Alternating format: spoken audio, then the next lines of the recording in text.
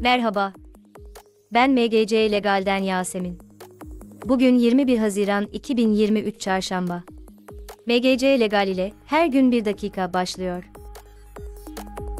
21 Haziran 2023 tarihli resmi gazete haberlerine baktığımızda yürütme ve idare bölümünün yönetmelikler kısmında Tokat Gazi Osman Üniversitesi Tıp Fakültesi Eğitim Öğretim ve Sınav Yönetmeliğinde değişiklik yapılmasına dair yönetmeliği, son olarak da Yüksek İhtisas Üniversitesi ana yönetmeliğinde değişiklik yapılmasına dair yönetmeliği görmekteyiz.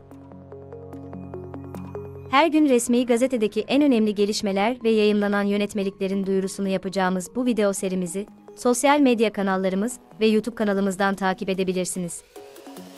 Yarın sabah görüşmek dileğiyle iyi günler dileriz.